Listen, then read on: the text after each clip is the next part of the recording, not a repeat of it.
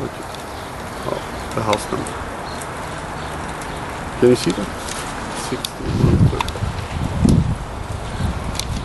Okay, this is uh, missing shingles throughout the roof. Somebody's already been here once and put the wrong color in. It's weatherwood. A lot of snow on the roof.